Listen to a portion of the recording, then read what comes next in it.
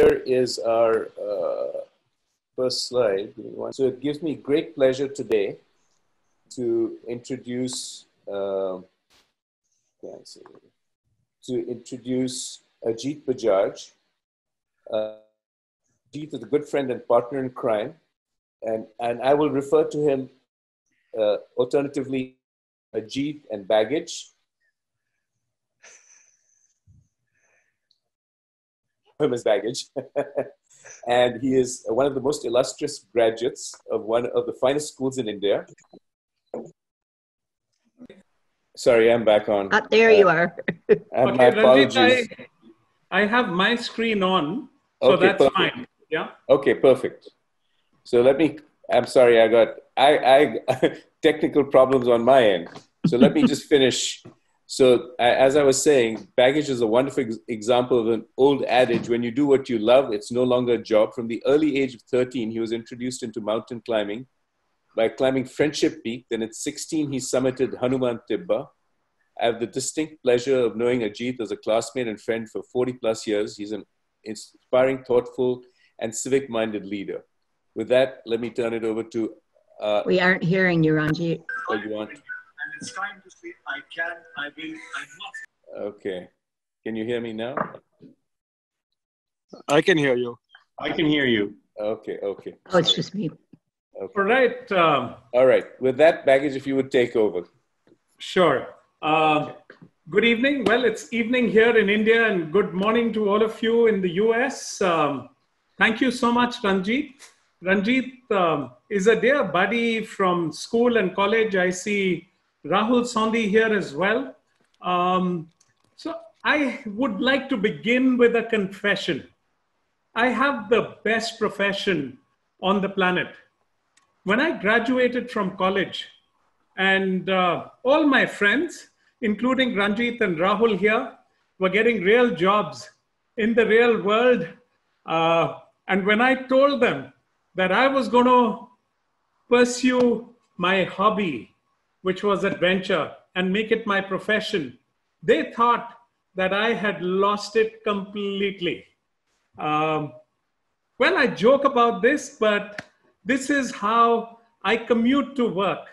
This is a 400 meter zip line across the Ganga River that takes me to one of the camps we, we operate. This is called um, Leopard Heights. It's across the Ganges River and uh, I know Ranjit and Romi have uh, both zipped across as well. So today, luckily, all my friends do realize that if you're passionate about what you do, you don't work for a single day of your life.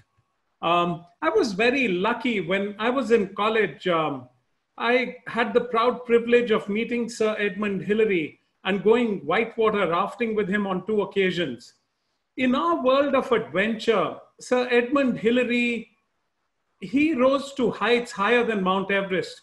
And the reason is because post Mount Everest, um, when he was really famous, he used his fame for doing a lot of good work for the Sherpa people of Nepal. He, he built schools and hospitals for them, raised a lot of money, and till today, they, they worship him in Nepal. And so that's why we believe that Sir Edmund Hillary rose to heights higher than Mount Everest. This quest for adventure has taken me down some of the wildest rivers on the planet. This is the Coruh River in Turkey, and this is close to all of you. This is um, what is called the Channel of Death on the Alsek River in Alaska. And uh, this is one of the wildest rivers on the planet. This is the Zambezi River. And you start a rafting trip down this beautiful river, which is in a gorge below Victoria Falls, which is one of the seven natural wonders of the world. That's a 16 foot raft. And it has disappeared completely in the rapid. But it's not just the wild rapids that make rafting the Zambezi a real challenge it is the presence of these big crocodiles, uh, the Nile crocodile, that hang out in the calm pools below those big, wild, crazy rapids. I started climbing when I was in school, and uh, I guess one of the reasons uh, Ranjit and I are such close buddies is because uh, we started climbing together. And this was later on in, um, in, in college. This is in the French Alps. Um, and this was on my 21st birthday with a very dear friend who is a doctor, a professor at uh, UPenn, uh, Teji. He might be joining us a little bit later today. So we, we climbed this mountain, which is about 7,000 meters high on my 21st birthday. And Teji, who was one of my mentors, um, was kind enough to carry a chocolate all the way up. So what I'm actually doing there is cutting a chocolate with a Swiss Army knife. So we are moving on to an expedition to ski to the geographical North Pole, 90 degrees north latitude.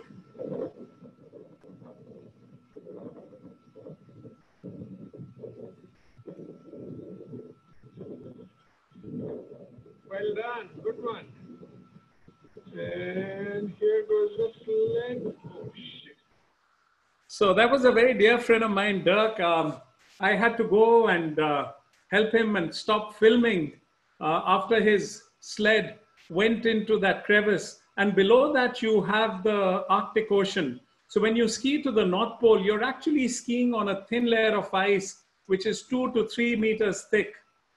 So people invariably ask me, why do I do these crazy things? And I think looking at this photograph close to the north, the geographical North Pole, 90 degrees north latitude, I think you have the answer. It's a great feeling of just being thousands of thousands of miles away um, from our so-called civilization in pristine wilderness. All you have is a few close buddies and in this case, a few polar bears as well. And well, there are still people who don't understand the virtues of an outdoor existence. And to them, my answer is try it, and you will know why. This is the North Pole, uh, 90 degrees north latitude, as I said, the very top of our planet. Um, as an aside, I'd like to tell you that I um, got to the North Pole a um, couple of days before we got there. We had faced temperatures going down to minus 65 degrees Celsius with the wind chill factor. And from the North Pole, we were picked up by a helicopter. And eight days later, I was back home in India in May when the temperature goes up to 44 degrees Celsius. It's amazing how quickly the human body can um, adapt. Well, I'll never forget this photograph. Six months after I skied to the North Pole, uh, this little twin otter dropped us off to the starting point of our ski expedition to the South Pole and took off.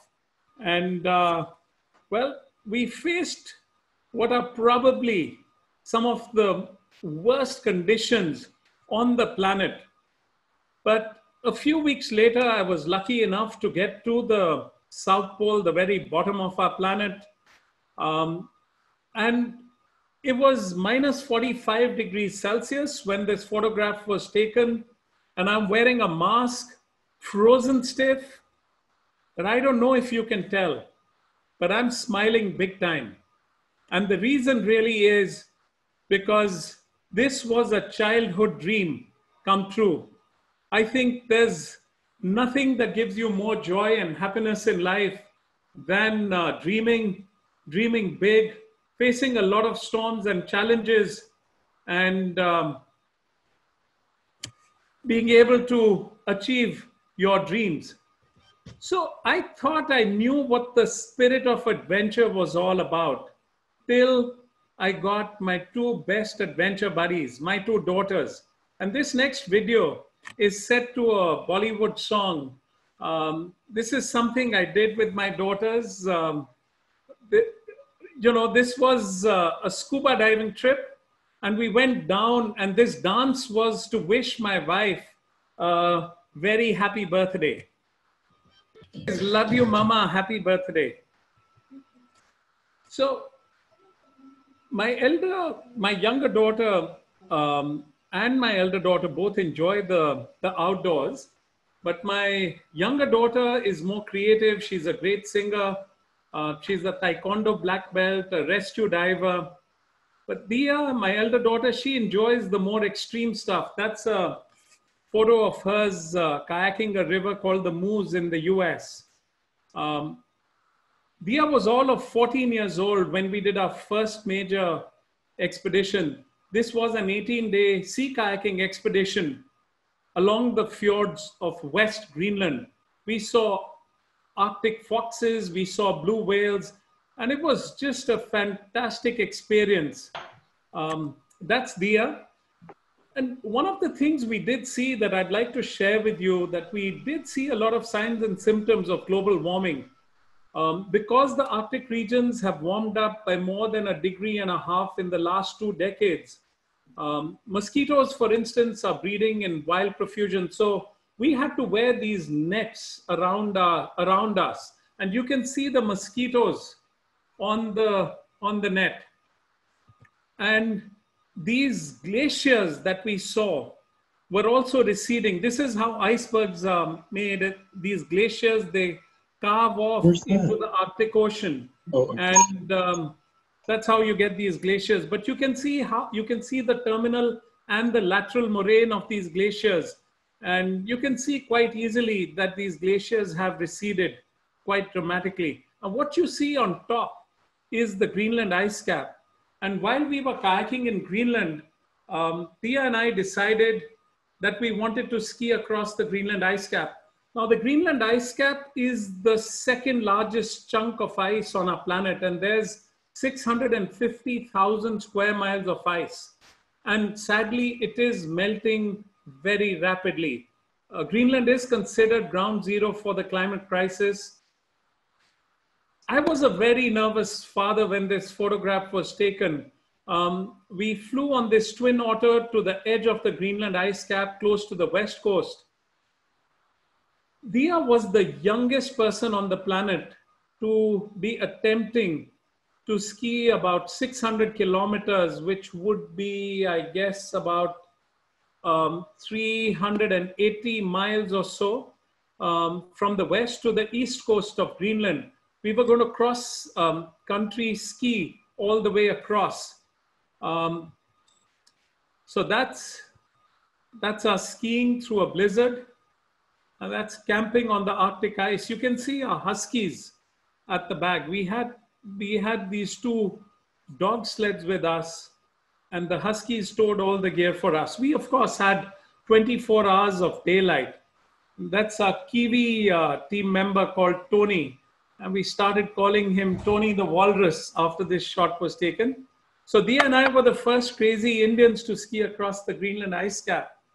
And um, Deeya was the youngest person on the planet to have achieved this feat.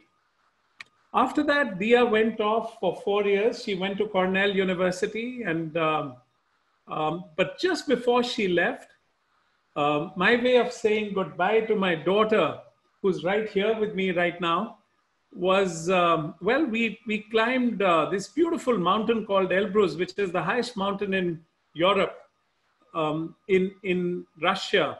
So we traversed, we climbed from the north side up to the summit. You see the summit behind us and then we came down the normal route, the south side, all the way back down. This is the summit of Mount Everest. Now, Mount Everest demarcates the border between Nepal, which is to your right, and Tibet, which is to your left. Most people climb from Nepal. Um, you have to cross what is called the Khumbu Ice Fall, but the north face, as you can see here, is steeper there's more wind, it's colder, it's much harder. But we decided to climb Mount Everest from the north side. And we started training. So we did four training expeditions to, um, to train for Mount Everest. This was our first training expedition. We climbed a mountain called Kangyatse, which is about as high as Mount McKinley or Denali in Alaska. You can see the smooth brown rolling hills of Ladakh at the back. And over Christmas in 2017, we spent a couple of weeks high altitude trekking in winter conditions in Nepal. We also met our Sherpas and bought most of our equipment. You can see Mount Everest at the back. And then we went climbing in the French Alps, close to Chamonix. And that's Deeya going climbing a frozen waterfall. And after that, we still wanted to train some more. And um, we thought, what better way to train than to go out in search of the snow leopard high up in the Himalaya. And we were very lucky. In the two weeks that we spent in Ladakh in winter conditions, Deeya and I had four sightings of the snow leopard. We thought that this was a good omen for our climb. I I'm joined by Deeya now, and uh, Deeya, over to you. Hi, everyone. So I'm going to be talking to you a little bit about our journey from here on out. So basically, after a year of almost eating, sleeping, and breathing Everest, we finally made it to base camp. And this is what base camp on the north side looks like. Um, when we got there, we could actually see uh, Mount Everest. It was a beautiful, clear day. Sagarmatha, as they call her in Nepali. And, you know, a lot of people talk about conquering mountains or conquering Mother Nature. Um, when you reach base camp and you look up at this big, beautiful mountain in front of you, you realize that there's absolutely no such thing as actually conquering a mountain. You know, if anything, you feel grateful, you feel humbled just to be there and to have the opportunity to do something like this. Um, also, before you go any further up the mountain, you actually spend a week acclimatizing at base camp. And before you go any up further, we have we had a big puja ceremony done by the um, Sherpa people, and uh, they actually had uh, given us a prasad at the end of the the um, prayer ceremony that we had to have. And uh, this prasad was actually either a can of beer or a shot of whiskey. And both dad and I hadn't been drinking it all for the past like three or four months before leading up to the climb. And so you know, I think after this, both of us wanted to convert to Buddhism. Um, so this is what the route up to the summit looks like. Um, and the reason why an expedition like this takes so long is because you have to spend a lot of time acclimatizing.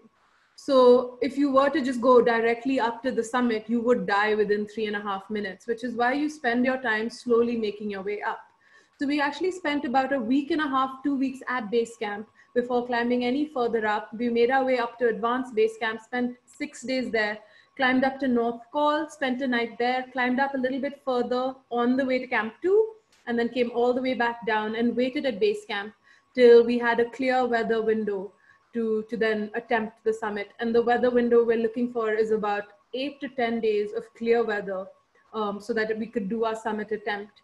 And when we're doing the summit attempt beyond North Col, um, that's, that's 23,000 feet or 7,000 meters, we were using supplemental oxygen. And you'll see some pictures of that as well. Hello. Uh, this is, yes? Sorry, someone? Lovely. Oh. Okay. Okay. Um, so this is what the, the route up to the summit looks like. Um, and as you can see, it starts off with a mixed terrain of ice and rock, and then everything beyond Advanced Base Camp is pretty much just snow and ice.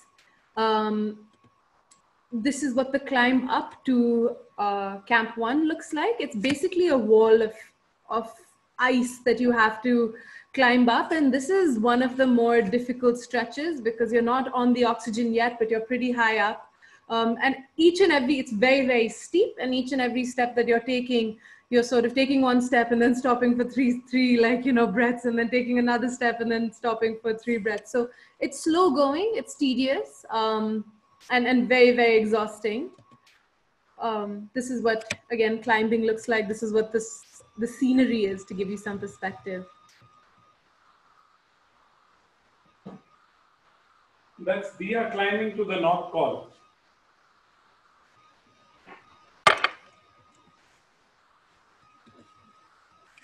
And this is camp one now. So everything beyond here, you're attached to a rope all the time. Even if you want to go out to pee or poo or anything, you have to be attached to a rope. On one side of camp one, there's a huge crevice going down into God knows where. On and on the other side is, is a very, very quick ticket to um, advanced base camp. So, so you have to be, you know, sort of on, on your ball. You can't make a mistake over here. And on the, you know, you have to sort of be concentrating um, and, and making sure that you, you don't make any silly mistakes here on out because um, even a small error could lead to a very, very big consequence. Um, and we're now in our down suits, you know, we, we, this is now what the climb up to camp two looks like.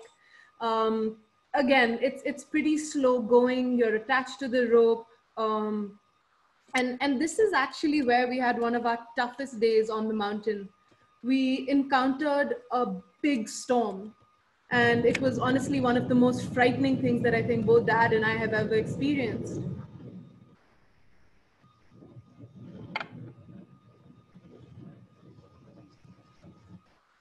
The wind speeds were so high, it almost felt like we were going to be blown off the face of the earth. Um, to be fair, we were, of course, attached to a rope, but at this point, you know, you're so cold, you're so exhausted the wind is blowing directly in your face and it's a very very narrow path that you're trying to uh, navigate and, and it's, it's it's in situations like this where you really truly feel like questioning why you're up there you know and it's definitely in situations like this where you want to stop um, where you're kind of you know like calculating all these things in your head and wondering why you're doing what you're doing for fun um, but it's also in times like this where you realize how important it is to stay positive. I think, um, you know, this, this is definitely a situation which shows you how mentally strong you have to be because stopping over here isn't an option, right? If you stop, not only are you putting yourself in danger because the minute you stop, your body stops generating heat and you get very, very cold very, very fast. But also if you stop, you're stopping all the people behind you who are again, can't really go um, across you because the path is too narrow. So you're not only putting yourself in danger, but you're putting the five or six people in your team who are behind you in danger as well. And that sort of, you know, puts everything into perspective and sort of, you know, you, you have to keep going, if not for yourself, then for your team. And uh, you just have to stay positive. And so at this point, I'd like to share our not so secret formula to success because honestly, we tell this is, but um, it's, it's obviously in a handy acronym PODS.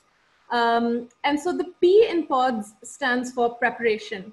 And I think Dad and I both have realized that no matter what we do, you know, mountain or not, there's no substitute for good preparation, excellent preparation, you know, doing each and every single thing that you possibly can to, to make sure that you're ready for anything that you might encounter on the mountain. The O in PODS stands for outlook. And uh, I think having a positive outlook on the mountain and in life is so, so important. Um, we were joking about this previously, but we kind of feel like all of our expeditions have been basically one training, uh, one big training expedition for this whole staying at home situation. Um, you know, oftentimes when we're on the mountain, we're stuck in a tent with absolutely no access to Wi-Fi, internet, other people, and it's just dad and me in this tiny little tent. You can't go outside because the weather's bad and you can't like, you know, move any further up the mountain. And it can get pretty um, frustrating and monotonous and it's difficult. And, you know, those are the times which, which are often not spoken about. Um, but there are definitely lots of parallels to, to this time that I think a lot of us are experiencing and facing, except right now, it's definitely a lot more comfortable being at home instead of a little tiny tent. Um, so that's O of pods. The D in pods is about always being deliberate. And that's, again, being very, very aware and certain of each and every movement that you make on the mountain. Um, this is an error-free environment. You know, one small mistake could have um, deathly consequences even. So you have to be aware at all times. And finally, the S in pods is for support and society. I think there's no way, firstly, we could do this without our mountain guides, our Sherpas. There's no way we could have done this without our family and friends, you know, all the love and support that we got when you're out on the mountain. Um, that's sort of what drives was in touch with me Yes. throughout. Yeah. yeah, Ranjit uncle was on on messaging dad, I think, throughout as well. And uh, there's definitely no substitute for that strong support system. I feel like you know that that really, really does um, give you a lot of energy and uh, a lot of confidence, or gives you gives you that extra push when you need it. Um, and also, I think it makes you very, very aware of uh, society and how we all live very, very privileged lives. And, you know, on the mountain, it's back to the basics. But after our expeditions, we always get to come back and come back to normal life. Um, so I think I think being on expeditions when and doing this sort of gives us um, an added appreciation for for the people who aren't as fortunate as us and sort of gives us this this drive to try and give back however we can okay back to dad So we got to Camp 2 on Mount Everest. Uh, this is at about 8,000 meters after the storm. As you can see, our tents are buried in the snow. So we dug our tents out, got in, and the storm started all over again. I thought we were going to get blown off the mountain or our tent was going to rip apart. But uh, luckily the weather gods were kind. We stayed up. I did not sleep that night. I slept with my boots on. The weather gods were kind and at about 5.30 in the morning the storm abated and we slept for two hours. We woke up. We forced ourselves to eat forced ourselves to eat because um, you lose your appetite completely. I lost 12 kilos on this expedition. And so if any of you would are thinking of losing weight while eating all you can, I would strongly recommend an expedition like climbing Mount Everest. Um, so we started up the mountain. We were now over 8,000 meters using oxygen. Um, this is the so-called death zone. It's called the death zone because we human beings are not supposed to be there. Um, and if something does happen to you, we have a term out of doors called AMF yo-yo. Now, Deeya is here, so I'll give you the politer version. AMF yo-yo stands for Adios, my friend. You're on your own. We got to our camp, uh, uh, Camp 3, which is about 8,200 meters. And this is probably the best view I've ever had. We had a view of Mount Everest on the left and an 8,000 meter drop all the way down to the East Rongbuk Glacier to our right. We started climbing at nine o'clock at night. The temperature was minus 50 degrees Celsius. This is what it was like climbing at night.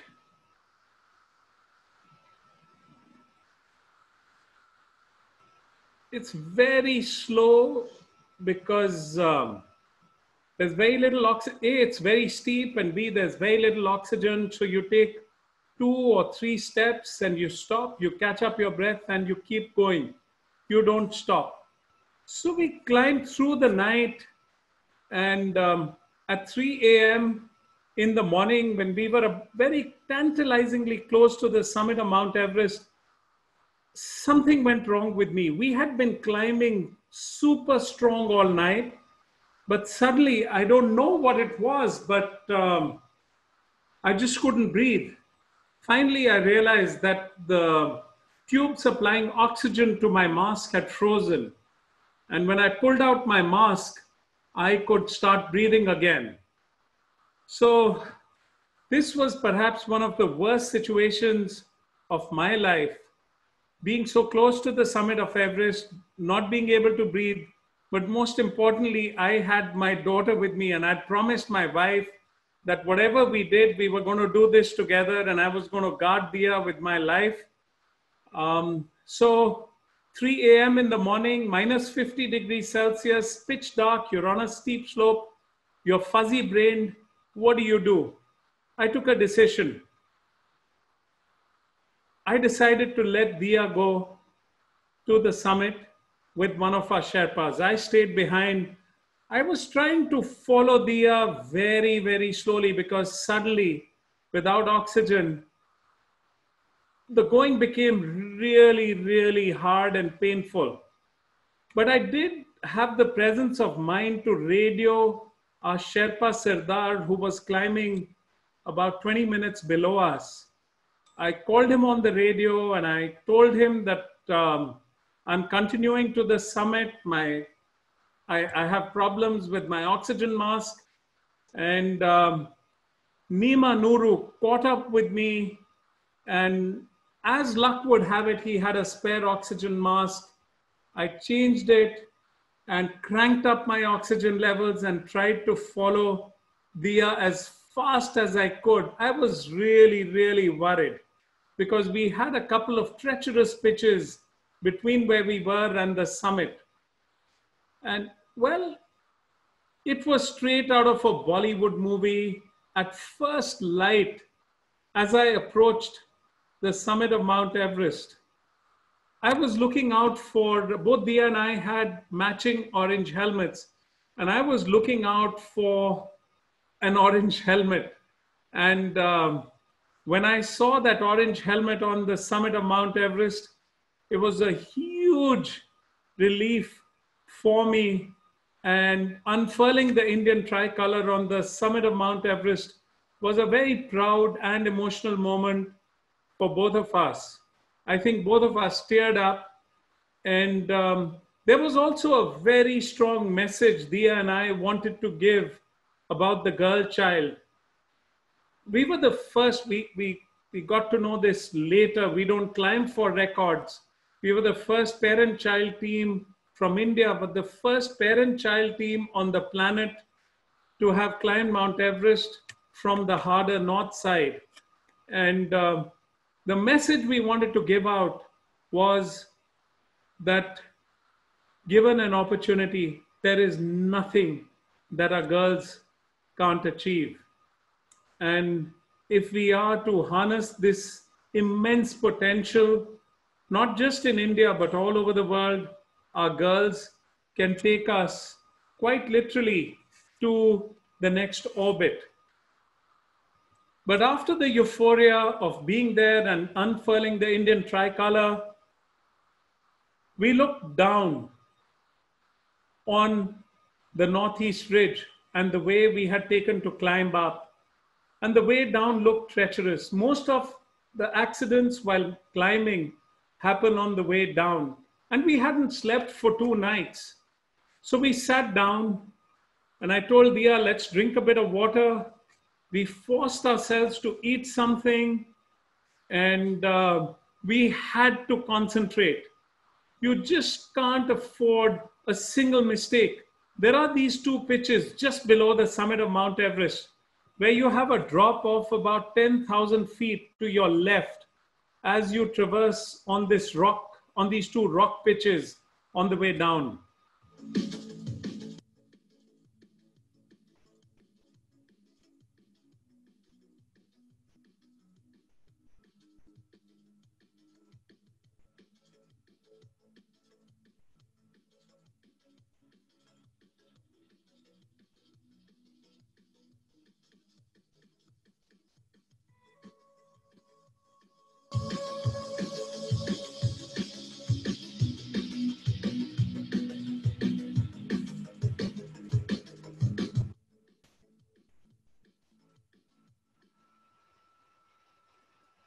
Can see Mount Everest at the back, and this is the third step on Mount Everest.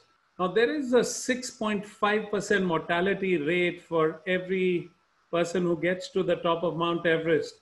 And one of the hardest pitches, which is what probably defeated Mallory and Irvine, the famous British climbers who were lost on Mount Everest in way back in 1924, was this treacherous second step on Mount Everest, which is about a 200 foot vertical rock pitch. And you can see a frozen body below us to the left in the middle of the screen. And that is something that does freak you out. The day we got to the summit, we were on our feet for 20 hours. And uh, we got all the way back down to the North Col. The idea is to go as low down the mountain as you possibly can. This photograph was taken on the next day on our way down from the North Col, and we were very lucky. One of our Sherpa team members slipped and uh, fell for about 20 meters. Very luckily for us, you know, uh, he was anchored onto the rope. Um, he was safe. He lost his rucksack, which went into a crevice and um, which was about 100 meters deep. But we were just so happy that our buddy was safe. Um, we had all kinds of incidents on the mountain. There was an Austrian climber who went out for a smoke at Camp 2 and managed to get frostbite, severe frostbite on all his fingers. Sadly, all 10 fingers had to be amputated. So, moral of the story this is what we, we tell all our friends who smoke. And uh, whenever we do a talk in a school, we tell kids in a school to never ever smoke. Um, so we came back and we got perhaps one of the best, um, the warmest welcomes ever in our lives. We had about 200 people with a band who came out to the Delhi airport to receive us. Um, we were invited to meet the Honorable President of India as a family. My younger daughter is not here because um, she was in Switzerland doing um, her hotel management course. Both Deeya and I were made brand ambassadors for the girl child in India, uh, which is called Beti Bachao, Beti Padhao. Uh, and we joked with the President of India save your daughter, educate your daughter, but also Beti ko Everest chadao, make your daughter climb Mount Everest, being um, symbolic in a way of encouraging our girls and um, helping them to dream big and then working with them to dream their uh, to to um, realize their dreams. Um, our madness continues. Deeya and i have climbed six of the seven mountain um, seven summits the highest mountain on every continent. We were to leave um, for denali on may 20th but of course um, the last of our seven summits has been postponed to next year, but we are really looking forward to it. This is Mount Vinson, the highest mountain in Antarctica. There are two, there is something we have done in our lives that both Deeya and I believe that has taken us higher than Mount Everest. Uh, this is something very close to our heart. After we skied across the Greenland ice cap, we raised money to sponsor these girls. Um, well, I'll tell you a little story. So there was this children's home which had 200 boys, boys whose parents have leprosy and uh, who were in a way ostracized from society, but there were no girls. And I took my daughters there uh, to sensitize them. And uh, they asked me a question. They said, Dad, how come there are no girls here? And I honestly did not have an answer. But to cut a long story short, after our Greenland expedition, we got in 12 girls to this children's home whose parents have leprosy. And now this has grown to 36 girls who are now like our daughters. And it's a wonderful feeling. And this is something I do. Um, I started an NGO called Planet Harmony, um, which is essentially about dealing with kids from conflict areas in India. We have Mahatma Gandhi as the father of our nation, but still, what disheartens me as an Indian is to see conflict in our country, people fighting with each other, killing each other so we get in kids from Kashmir, the Naxal affected areas, um, and through adventure, we try and send them back home as ambassadors of peace and peaceful coexistence. With that, um, thank you so much. And um, both Deeya and I would like to wish all of you health, happiness, and success higher than Mount Everest. Thank you. If you have any questions, um, I'll be very happy to answer them for you.